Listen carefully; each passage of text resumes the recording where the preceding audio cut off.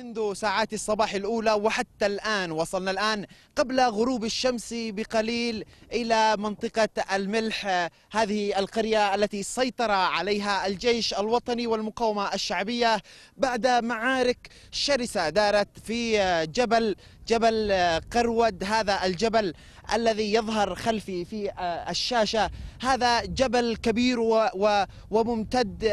سافرنا فيه منذ ساعات الصباح الأولى. المقاومة الشعبية الآن تتمركز في ذلك الجبل الصغير الأسود. المقاومة وصلت إلى هناك. بعد الجبل مباشرة تقع فرضة نهم أو معسكر نهم. وهناك أيضا الطريق المؤدي من صنعاء إلى مأرب.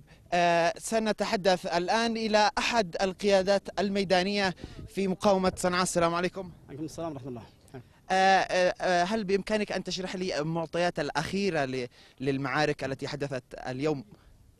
الحمد لله. بفضل الله ومنه وجوده تمكنت رجال المقاومة الشعبية مسنودة بالقوات الشرعية بدحر الحوثة مسنودين بالطيران التحالف. وبفضل الله سبحانه وتعالى تم دحرهم وطردهم وأسر كثير منهم وعشرات الجثث الآن مرمية في الأشعب و... المسافة الآن ما بين صنعاء ومأرب أيهما أكبر الآن من هنا إلى مأرب أو من هنا إلى صنعاء؟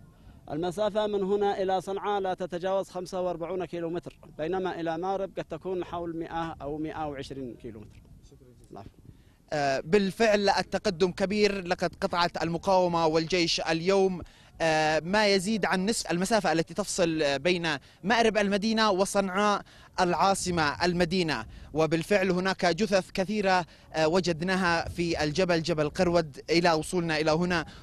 وأيضا أطقم للحوثيين. المعارك الآن ما تزال مستمرة كما يظهر في الشاشة.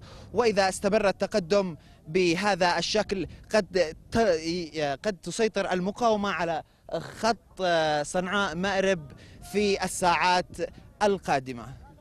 يحيى السواري قناة بلقيس. صنعاء.